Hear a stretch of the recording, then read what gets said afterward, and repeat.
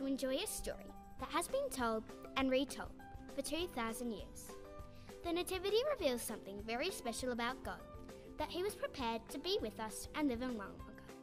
Let us watch the story of how Jesus came to be with us, an event that is still transforming lives to this.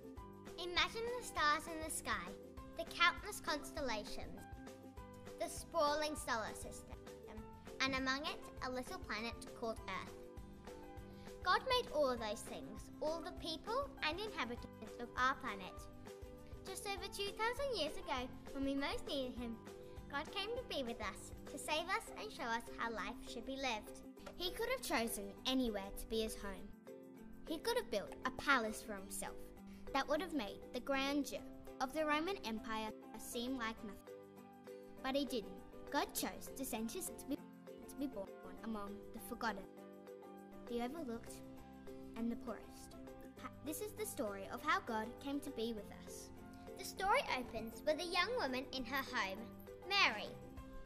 Unless you look a bit deeper, there's nothing particularly remarkable about Mary. She was from a town called Nazareth and she was engaged to be married to Joseph. But to God, she was very important. So important that God sent an angel down from heaven with a message for her. The angel said, Hello to you.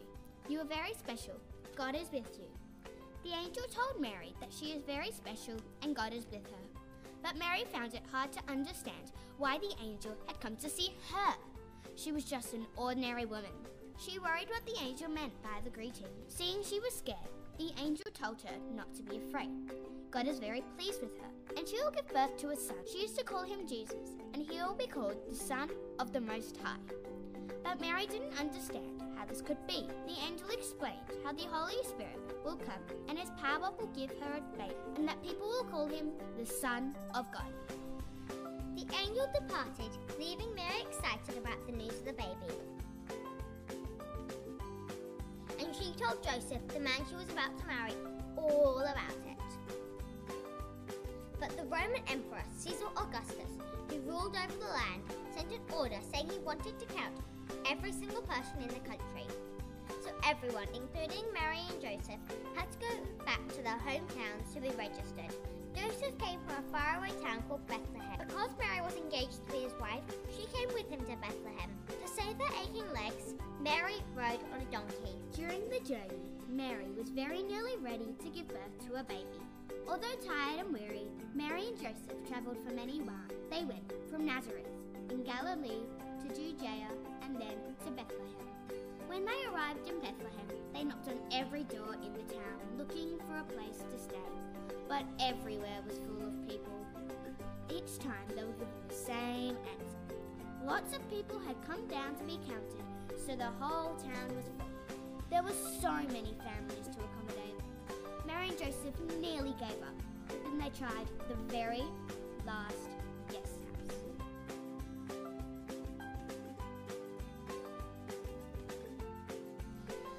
Joseph desperately asked for help. The owner of the last guest house replied that he was very sorry, but all of his rooms were full with other guests. All he could offer was his stable out the back where they kept all the animals. They thanked the owner for his generosity. At last, they had somewhere for the baby to be born. So Mary and Joseph went to stay in the stable. It was a very difficult place to bring a new life into the world, dirty and unhygienic, but Mary and Joseph made the best of it. When the baby came, they wrapped little Jesus in cloth. They didn't have anything to put him in, so they placed the Son of God in a manger, a trough that is used to feed animals. I'm not sure this is what Mary was expecting. Jesus would be called the Son of the Most High. But as she looked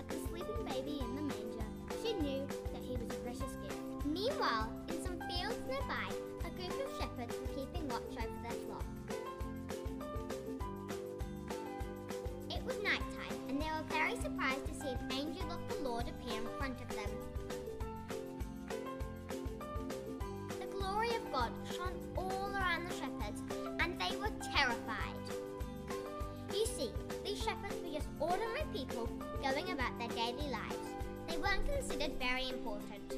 Nobody took much notice of them, so they were surprised when the angel spoke to them. The angel said, Do not be afraid. I bring you news of great joy. Good news for people across the world. Today in Bethlehem, a Saviour has been born.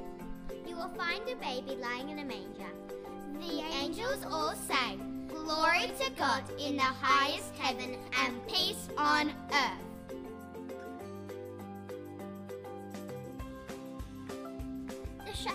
Made their way to Bethlehem to seek Mary, Joseph, and the baby, which they knew they would find lying in a manger.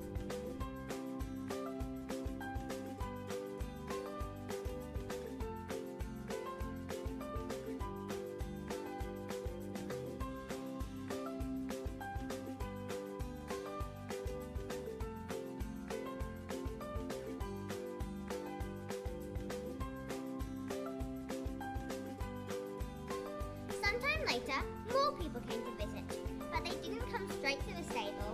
These three important people, sometimes called kings, sometimes called wise men, were magi.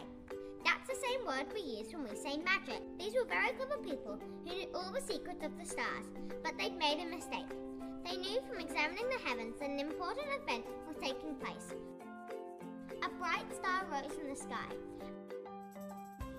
they followed it to worship the person whose birth it foretold. They knew that the star heralded the King of the Jews.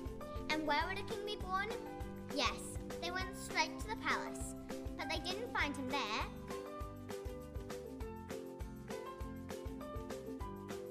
Then they saw the bright star ahead of them again and followed it until it stopped. The wise men saw the child and they worshipped him. Each of them brought a special gift to give to the baby Jesus. Recognizing Jesus as the King of Kings, the first wise man brought him gold. Frankincense was a gift from the second because he knew Jesus was the Son of God. And the third wise man brought myrrh because he believed that Jesus was the Savior of the world. Each of them gave Jesus a precious gift, and that's why we give gifts at Christmas, particularly to the poor and needy people. They went home even wiser men, realizing that precious things are worth far more than money and are not always found in the richest places. They realized that they should offer their wealth to Jesus, the Son of God born into poverty, who is a friend to all. Mary, who had seen it all happen, kept these things close to her heart. The shepherds went back to their flock. The kings rejoined their kingdoms. Something had changed for the shepherds and the kings. They still had work and family. Nothing in their lives appeared to have changed, except them. They glorified and praised God for the things they had heard and seen. They wanted to express the joy they had found and change the world around them. And what better way to celebrate the birth of Jesus? These humble shepherds and wise kings had their lives transformed through the birth of Jesus. So please welcome him into your hearts too this Christmas.